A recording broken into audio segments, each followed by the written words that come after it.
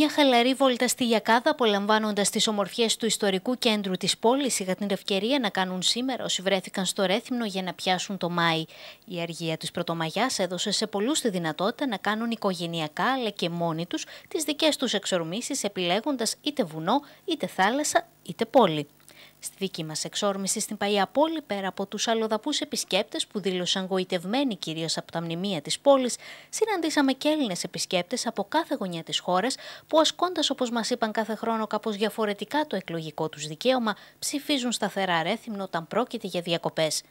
Ωστόσο, δεν έλειψαν και εκείνοι που πάτησαν για πρώτη φορά φέτος το πόδι τους στην πόλη, όπως ο κύριος που παρακολουθείτε στους δέκτες σας, ο οποίος από τη Μακεδονία κατηφόρησε με την παρέα του στο Ρέθυμνο και σίγουρα δεν το μετανιώνει. Πρώτη μέρα ήρθαμε και μας άρεσε πάρα πολύ.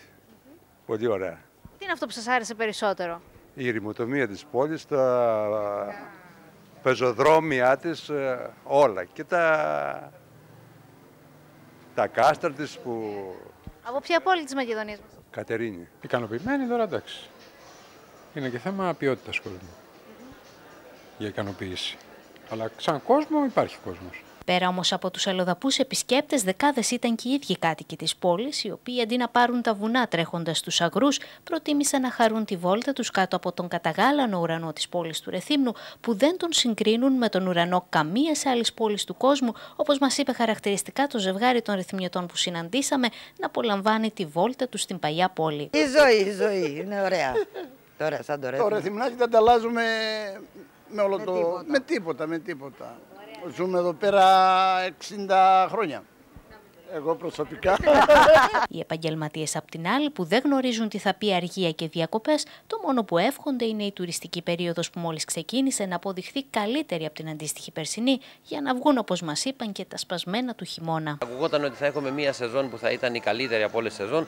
Ε, Προς το παρόν Εμείς οι επαγγελματίες βλέπουμε ότι χάσαμε πάλι τον Απρίλιο. Η σεζόν θα ξεκινήσει από τις 5 ε, με 10 του Μάη να ξεκινήσει πάλι και δεν ξέρουμε πότε θα σταματήσει. Οπότε τα επίπεδα δεν πιστεύω να είναι τόσο καλή η σεζόν γιατί είναι χρονικά πλέον τα περιθώρια χάνουμε κάθε χρόνο τον Απρίλιο και τον Οκτώβριο. Ελπίζουμε ότι η τουριστική σεζόν θα βοηθήσει για να κρατηθούν ε, καταστήματα ανοιχτά το χειμώνα με συνέπεια να υπάρχει τζίρος στην αγορά και φυσικά θα διατηρηθούν θέσεις εργασίας. Αυτό που πρέπει να προσέξουμε θα, να είναι οι υπηρεσίες που προσφέρουμε να κινούνται σε υψηλά επίπεδα